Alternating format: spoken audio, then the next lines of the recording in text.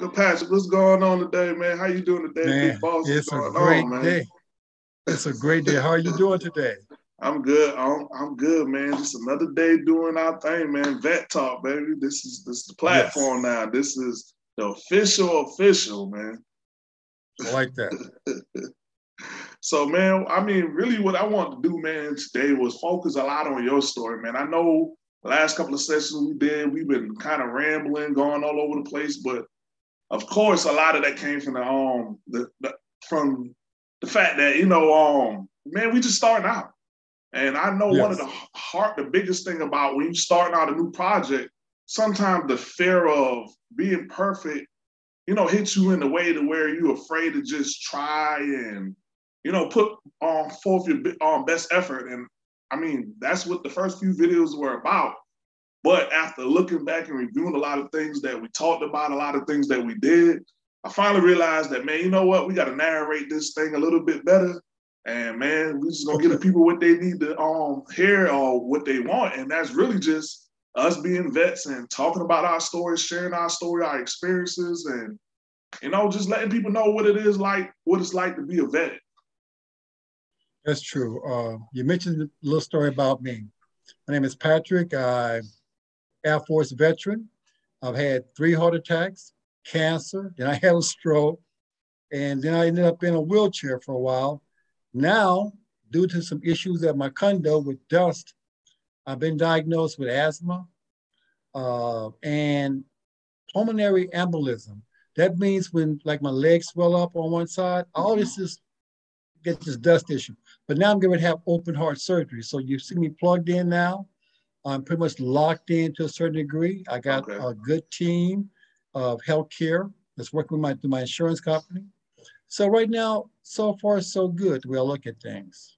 Okay, so the question I have is, um, do you have anybody far as um, far as like a veteran organization, anybody helping you, reaching out to you to try to help you with some of these issues you got going on, or are you just handling it on your own? Well, one of the good things about it, when I came to Houston, I got a lot uh-huh. of training. Yes, sir. And in that training, it was called a peer support specialist. Okay. Our job is to help you to navigate pretty much the VA in a sense, mm-hmm. and how to navigate and how to to kind of figure out those things, different what your resources are.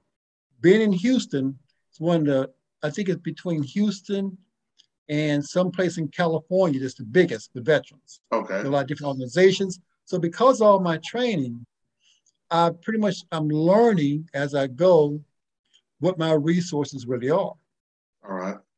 Now, although I'm not far from the VA hospital, I'm at another hospital for my surgery. I okay. still support the VA, I'm yeah. at another hospital for my surgery. Yeah, I mean, there's nothing wrong with that because I mean, I'm the same way. Like, I, I believe the VA is a great source, a great stepping stone. But at some point, you do have to find, you know, other avenues to kind of suit your situation. Because I know a lot of times as vets, we can become one track minded and we can be so driven and so focused on one thing to where sometimes what we focus on as far as like with your health, um, you may not be getting all of the help that you need. So sometimes it's great to outsource the VA. And you know, most people are afraid to because they feel like they're going to lose benefits and different things. But one things I've learned, um, the VA do have programs to where, hey, you know, we aren't the only people that can help you out, and we can, you know, outsource our help, um, and and, and basically give you a referral to someone else that can, you know, help you out. So it's it's good to hear that, you know, you're getting the help that you need. How about your roof? Um, what's going on with that situation, man? well, I still have the issue with the bugs, but I'm I'll be honest with you if it wasn't because of my resource that I have now, yes, I have an insurance company that I'm going through. They sent the people over here. In fact, I think sometime last week I may have starved for a little because okay. uh, I don't have transportation.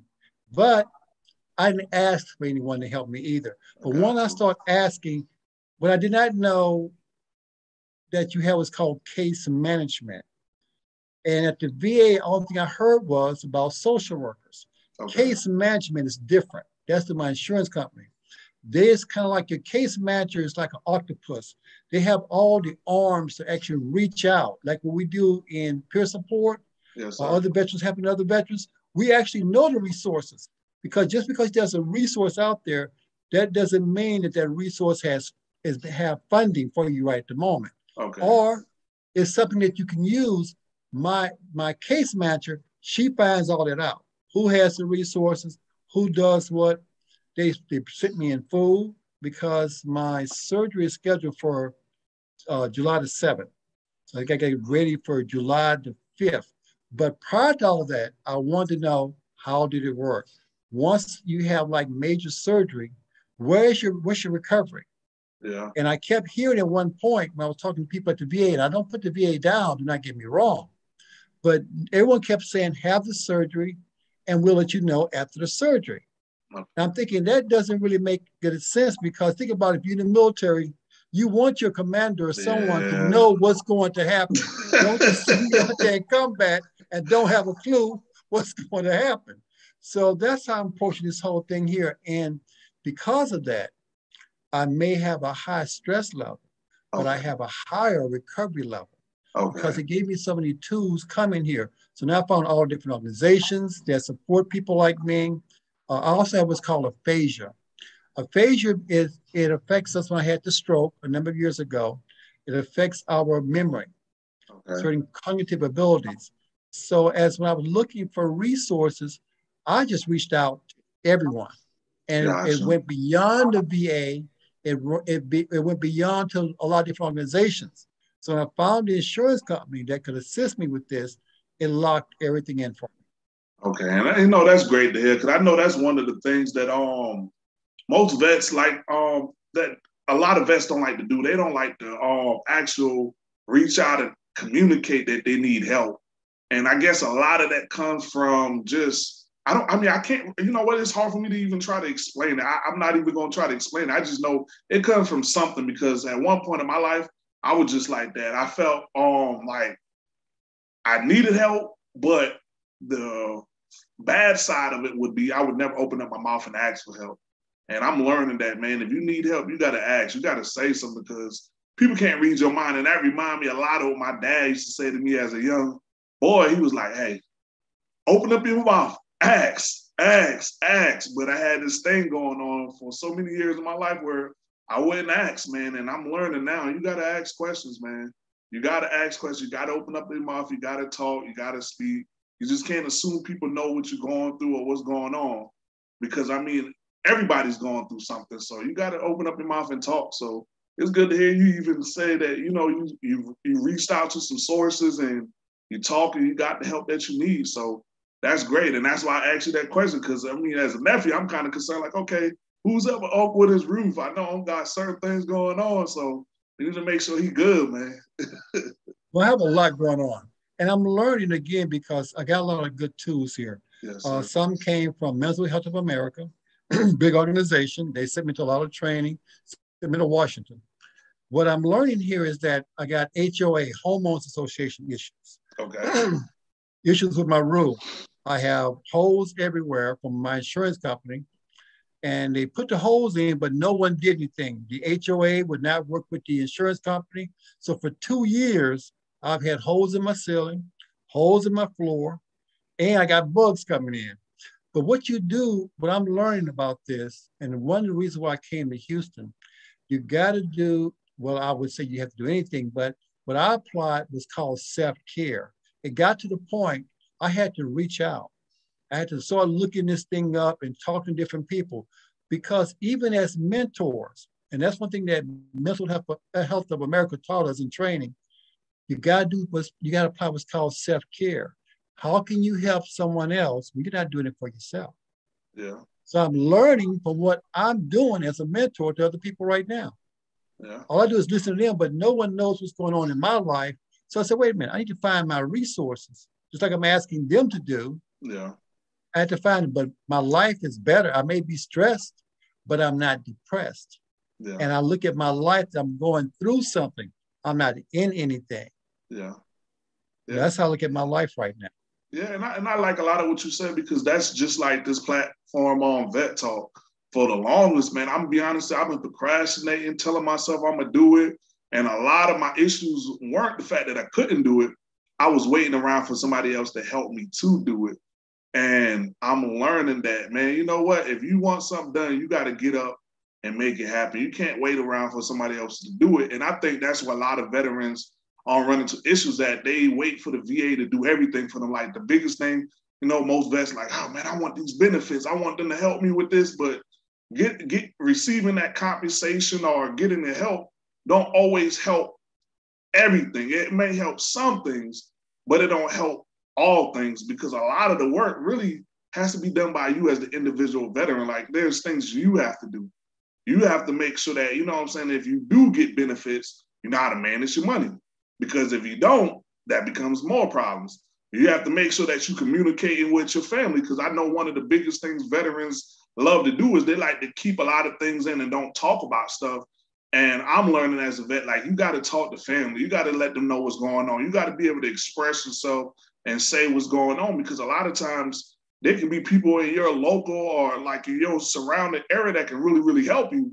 But if you don't really tell them or talk about it, then you don't get the help. Even like vets who don't like to tell people that they vets, like I think that's one of the biggest things that you know as vets, we gotta let go our pride and say, you know what, let me tell more people I'm a vet because you'd be surprised of the doors that open up for um for you if you say that you're a veteran. That's not to say that you know you should use that as a tool to manipulate and take from you know the system, but there is a system out there that's in place to help all of us. And I believe a lot of us need to reach out and you know get that help. Or if people know a veteran, hey, tell that vet, hey, get up off your, your behind and let's go. I need to take you down here so you can go see these people and get the help you need because again, you can't fight this fight alone. You gotta fight with somebody else. You have to, you need a team. I mean, that's part of what it was for us. That's part of the warrior ethos. Um, we a, a warrior and a member of a team. So gotta be a team player. You know, I like that because when I first came to Houston, I was trying to figure some things out. I got the things I thought I wanted, convertible, I got the house, but I got very depressed. So I looked for some resources. It was between Houston, Texas, or to go to California. And I came here because I, I, they, uh, one thing I like about certain things in my spiritual life, I like going to church. And one of the pastors helped me to come to Houston because he said, don't think, just do. Yeah. When I thought I had things, I really didn't have very much. But coming here, it keeps me motivated enough to keep asking those questions. And sometimes what we don't do, we have these good ideas in our mind, but we try and figure out who can help me. And we, if you, like you said, if we don't ask, we then will never know. Yeah. I love my church. I got a lot of resources in my church. And if it wasn't for my church, I'm not talking about someone just go to church. You find what, what fits you, what feeds you. Yeah. It fed me because I, I learned about going to marriage classes. Not that I'm trying to get married. I want to know how did it work? I've been through divorces. I've not been there for my kids. My career came before everything else in my life. Yeah. I did not, and I learned that. So before you get married, after you get married, how to stay married. I was in those classes for three years. Anger management. When I first heard that, I was in another class. I'm thinking, well, I'm not really mad. I got, got issues, but I'm not really mad. But when the when the person said, "What about forgiveness of yourself and others?" I volunteered in that class for eight months. But all these things I learned, and sometimes we keep thinking that we don't have the resource available. Reach out and ask someone. Yeah. If you don't, if you don't, if you don't have a church, find a uh, certain organizations. Not they, they don't have to always be for veterans. They could be for anyone. They can yeah. provide you some type of assistance. But I went to financial management. I hadn't been there either. So now I'm still in financial management. I'm in another organization uh, for entrepreneurs. These people are making six figures, which I'm not. And they all over. The, we got people uh, in, I think, uh, oh, I can't think of the name of it, uh, Australia. Okay. We meet with this person, all different countries, because that's that that's that new tech that we have now, like what we're doing now through uh, Zoom. People are everywhere. So yeah. by me reaching out and coming to Houston, I just found different organizations that could help. Okay. And that's what we do. We start off with the VA, but uh, I do want to say this as well. I remember before that was in the PTSD. I was in class for five years.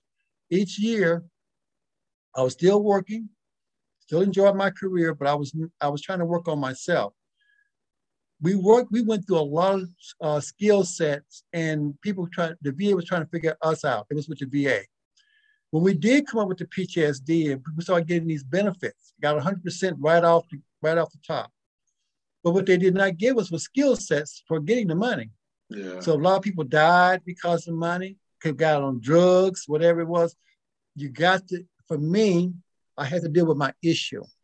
Yeah. What what got me to be where I was, not because of you, not because something else or what happened to me in the past. How do I want to deal with it now? I got some of that from the VA at the time, but for six years, I, I learned a lot from the teachers that were trying to learn.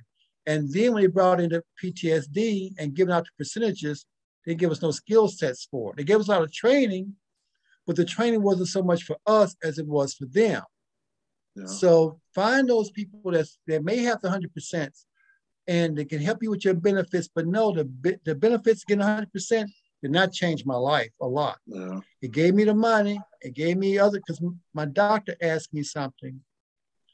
He said when he gave me the, he gave me Social Security first, gave me 100%, but he asked me to find the life. He said he could not change what happened to him in the military. I kept wanting them to change what happened or yeah. to admit what happened. He said that's not going to be the issue at all anymore. But it's going to be where you are now, where you want to get to. So you asked yeah. me to find a life. Well, I got it since they started this PTSD. I didn't start working on that until now. I'm 65. Yeah. I got it when I was like maybe over 10 years ago. Oh, wow. But not until you start working on yourself, you say, well, wait a minute, I do have a good life. Yeah. No matter how bad things can be, I got bugs come out my ceiling, I got holes everywhere. I got HOA. I got all these issues, but I know how to. It's kind of like having. Uh, I have to, I have a fund to put funding in in case things go wrong. But okay. just like my feelings, I got a therapist now. I got all these issues going on. I'm gonna find myself a therapist. Yeah. Let them know that my stress issues. I'm not mad. How do I deal with my stress? But these uh-huh. tools I got, some came from the VA, some came from my church, some came from different organizations, but you have so such such a wide range of uh, resources. Yeah. And all you got to do sometimes is just ask, like talking to you. Yeah. I mean, I'm learning from you. Yeah. And I think that's um, one of the biggest things um, looking back at, at a lot of stuff you're talking about. Um, most of us, man, we came from somewhere where we weren't always taught how to cope with certain things or to deal with certain things. And I think for the longest time as a vet, I thought a lot of my issues, as I always said, started with the military. But listening to you, it reminded me that, you know what, I know at some point I had to deal with, you know, just the things before the military because it was certain things that took place in my life um, and I thought I would get that from the military. And I learned that the military don't give you structure because that's one of the mis um the misquoted thing is people think that oh I joined the military, I'm gonna learn how to you know be responsible to do this and do that. But in actuality, like bro, nah, whoever you are before you get in the military, you're gonna be that same person in the military. It's all about what are you doing to get the tools that you need to be better than the person you was before. And I mean, that's the one of the um, coolest thing about listening to you is you talk about just how you went and put yourself in situations to where you got tools to help you along the way, and that, and that's awesome. Yes, you know what? I learned a lot of things from the military. One was survival. Yeah. Well, survival is great. We all want to survive, but don't you want to thrive at some point in your life? Yeah. How do you want to feel, even at the darkest moment sometimes? how do you really want to feel about your life? Is everything just bad? Or you have you fell into the pit? Because well, I've been in the pit a number of times, but not until I started working on myself. I said, wait a minute, that pit can go deeper. Maybe I've fallen into it, but it's deeper. Sometimes we think we're at the bottom of the pit, but no, the pit can go deeper. So I can just try to get myself out right where I am. Not thinking about, oh, I'm at the bottom, I'm stuck, I can't get out. No, three, like again, three heart attacks, cancer, stroke. Now I got all these other issues. Now I'm getting ready to have open heart surgery at the age of 65. I really don't look forward to the surgery, but I know that it's something I need to do. Just like in our life, find the things that's going to replenish you. Just like pouring water into something you need to take a, a drink